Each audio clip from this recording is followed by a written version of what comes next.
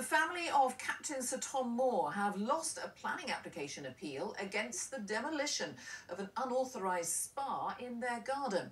Captain Sir Tom raised more than £38 million for the NHS in 2020 during the COVID pandemic.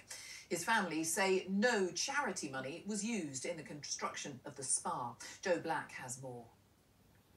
Captain Sir Tom Moore rose to prominence during the pandemic, becoming a lockdown icon as he walked 100 laps of his garden. And in that very garden, this new C-shaped building has become the centre of a notorious planning row and has upset some of the neighbours. It's just there from all my windows, my bedroom windows, every time I come out in the garden. In fact, I really don't come out in the garden because it makes me so cross. The late fundraiser's family applied for a smaller L-shaped structure for the Captain Tom Foundation, which was given the green light. But the planning authority refused a retrospective application for the block, which was eventually constructed, which also included a spa pool.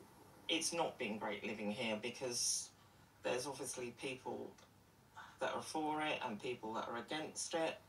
The local council ordered the building be demolished, but at an appeal hearing, the family said the space could be used to house memorabilia about Captain Sir Tom's work, and the spa pool could offer rehabilitation sessions for elderly people in the local area. But today, the Planning Inspectorate rejected those arguments. The inspector said the scale and massing of the partially built building had resulted in harm to the old rectory, the Grade 2 listed family home.